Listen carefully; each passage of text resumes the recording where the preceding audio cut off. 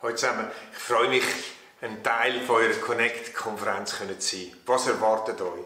Primär bringe ich mich selber mit, mich und meine Biografie. Was ihr da hinter mir seht, das ist Town Village. Das ist generationenübergreifendes Wohnen in einem grossen Komplex, das ich bauen durfte.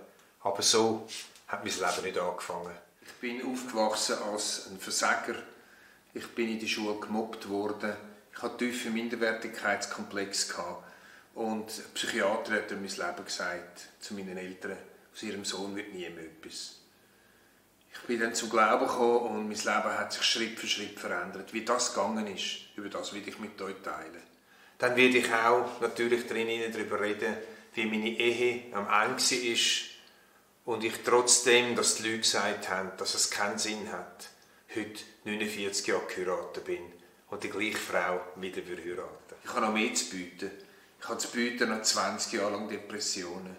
Wie man kann eine grosse Kille bauen kann, wie man am Leben stehen und Menschen dienen, trotz vieler Jahre von Depressionen. Über das will ich mit euch reden. Ich will die Frage streifen, warum lässt Gott all das zu? Wo ist Gott in all dieser Not drin?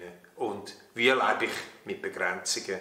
Wie kann ich aber auch mit meinen Stärken leben? Ich freue mich, mich selber euch mitzubringen, wenn ich komme. Bis bald. Tschüss zusammen.